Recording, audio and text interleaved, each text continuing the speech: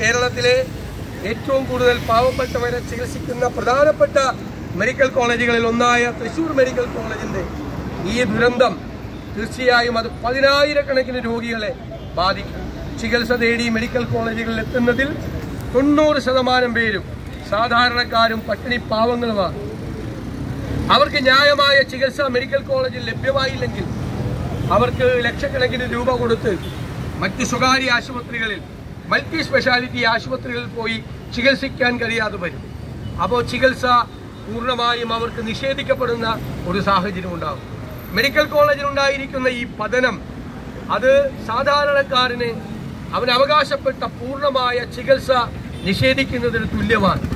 അതുകൊണ്ടാണ് തൃശ്ശൂരിൽ നിന്നും വണ്ടി കയറി ഈ യു ഡി എഫിന്റെ നേതാക്കളും സഹപ്രവർത്തകരും തിരുവനന്തപുരത്ത് വന്ന് ഈ സെക്രട്ടേറിയറ്റിന്റെ മുന്നിൽ വന്ന് മുഖ്യമന്ത്രിയും മന്ത്രിമാരും അറിയാൻ വേണ്ടിയിട്ട് ഈ സമരം നടത്തുന്നത്.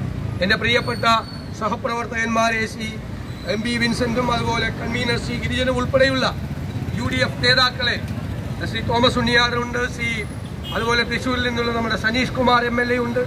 അവരെ എല്ലാവരെയും ഞാൻ പ്രത്യേകമായി അഭിവാദ്യം ചെയ്യുന്നു. നിങ്ങളുടെ എല്ലാവരുടെയും അനുവാദത്തോടെ ഈ സമരം പരിപാടി ഉദ്ഘാടനം ചെയ്തതായി അറിയിക്കുന്നു.